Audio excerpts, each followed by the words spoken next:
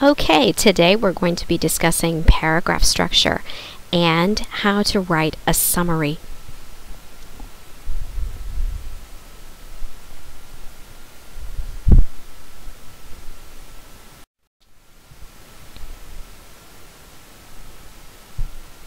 All right, let's go over our agenda for this lecture. First, we'll discuss what a paragraph is, and then talk about how to write a successful paragraph. Then we'll move on to summaries, uh, discuss what a summary is, and then how to summarize sources effectively.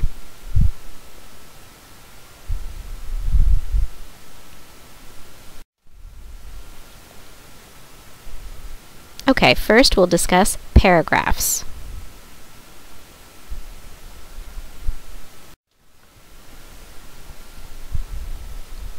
Okay, what is a paragraph? Paragraph is the building block of an essay. It's um, a group of sentences, and together they form one indented block of continuous text. So when you begin a paragraph, you continue typing or writing uh, without hitting return or skipping a line until you get to the end of the paragraph. That's what I mean by continuous. A paragraph has one main idea. That's, we call it unified. All of the sentences within a paragraph should be about that main idea. Within a paragraph, we have sentences that have different functions.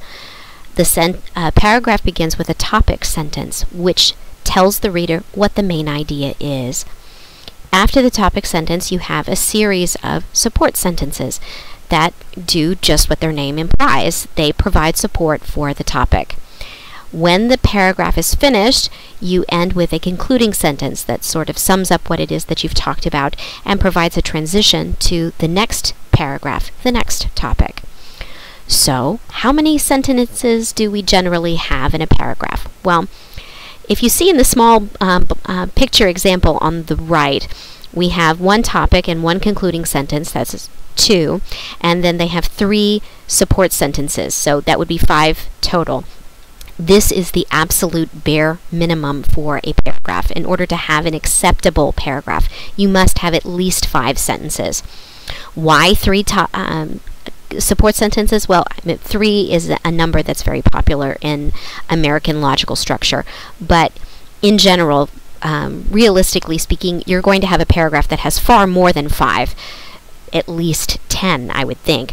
Um, but paragraphs can be as long as a page. It just depends on how many support sentences you need to support your topic. But in general, you should have no fewer than five.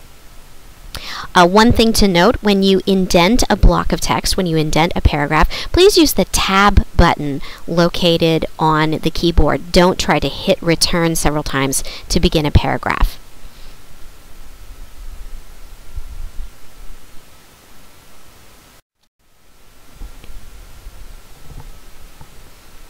All right, now that we know what a paragraph is, we can talk a little bit more about how to make our paragraphs successful. One thing that you can ask yourself is a series of questions whenever you are writing. The first thing you need to, to discuss is what is the paragraph for? What is its purpose? Uh, what place does it have in your essay? Is it the introduction? Is it a summary of your source? Is it the place where you're doing analysis of your sources? Are you disputing or critiquing an argument? It depends on what it is that you actually want the paragraph to do.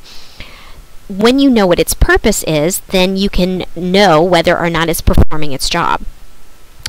Then look at the individual sentences in the paragraph itself. Are they all about the same topic?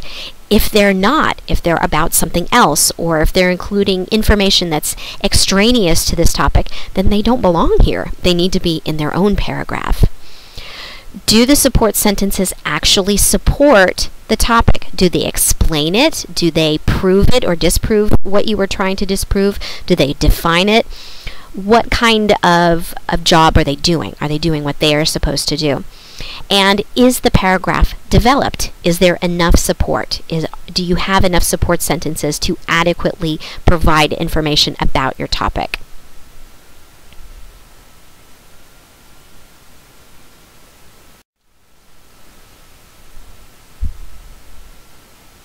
Okay, now we're going to move on to uh, summaries, um, and specifically summary paragraphs.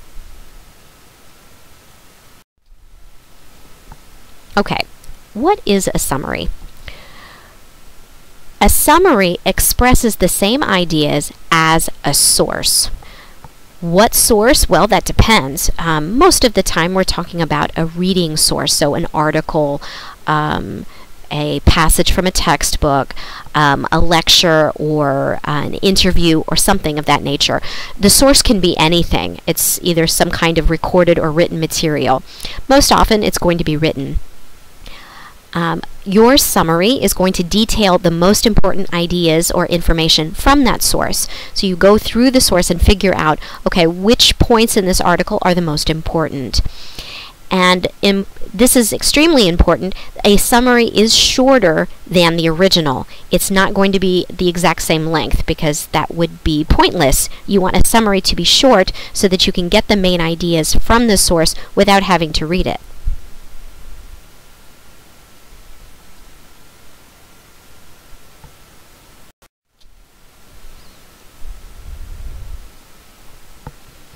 In order to summarize a source effectively, there are several things that you need to do. First of all, understand the source itself. You actually have to understand the thing that you're talking about. This seems basic, but you would be surprised at the number of people that are trying to summarize a source when they didn't actually understand what the source was about in the first place. Go to your article and read closely. Understand what the information is. If there are large passages that you do not understand, then look up that vocabulary and figure out what it means. Talk to somebody about it. That might be um, some ways that you can actually understand the source more deeply. Go through the text itself and note the key or important points. It might be a really good idea to read the first sentence, what you hope would be the topic sentence of every paragraph. This might help you to delineate what those important points are don't include any other information not in the source. Uh, a summary is not the place to include your opinion or your ideas about the topic, and it's unless you're including all of your sources in the same paragraph, which generally doesn't uh, doesn't happen. Um, you don't need to include information from other sources. Um, remember that these are not your ideas. They're supposed to be somebody else's ideas. That's what a summary is. But you do still need to make the source clear state, according to this person, in the article from the New York Times, here is the title. Make sure that your reader knows for a fact this is the summary of the article I read. Um, and paraphrase. Don't just restate everything in the same words that were used in the original. In the next slide, we're going to talk about how to paraphrase effectively.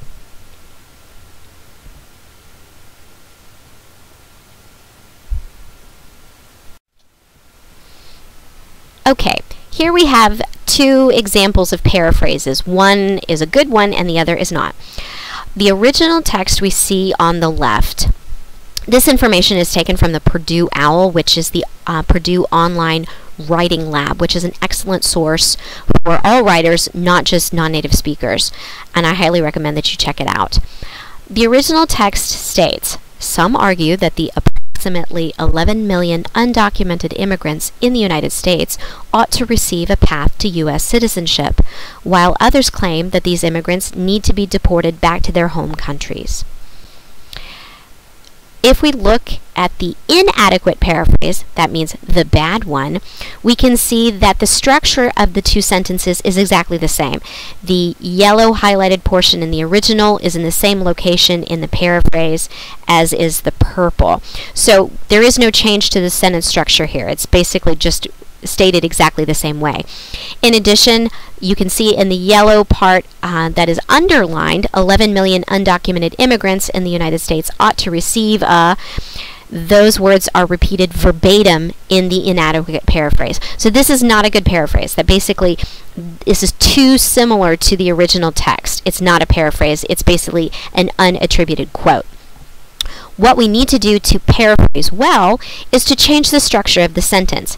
In this particular sentence, we've got uh, two dependent clauses that we can basically reverse. So although some individuals maintain that undocumented immigrants should go back to their countries. Others defend these immigrants' right for a path to citizenship. Excuse me, that word is hard to say. So you can see that the structure of the sentence has been flipped. So we've shifted the clauses. That's a good way to change the structure of the sentence. In addition, we're using some different words. Um, some argue, some individuals maintain.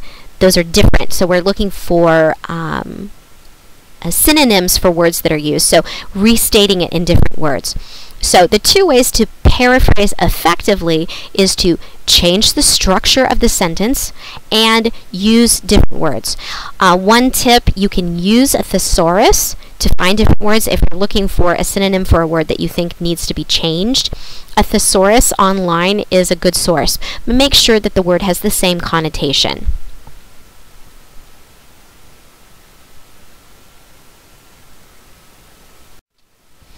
Okay, to sum up, haha, little teacher joke there.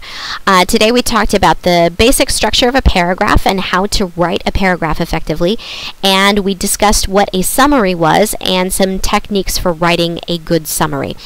Uh, for further resources, you can check out the additional resources on our course website, and I highly recommend that you visit the Purdue OWL for other grammar and writing questions if something comes up that we haven't yet addressed. But uh, feel free to send me an email with requests for topics at any time. Uh, you should be ready to participate. Um, you should have already participated in the online discussion, and now you are ready to read your articles and start your uh, summary and response essay. Good luck!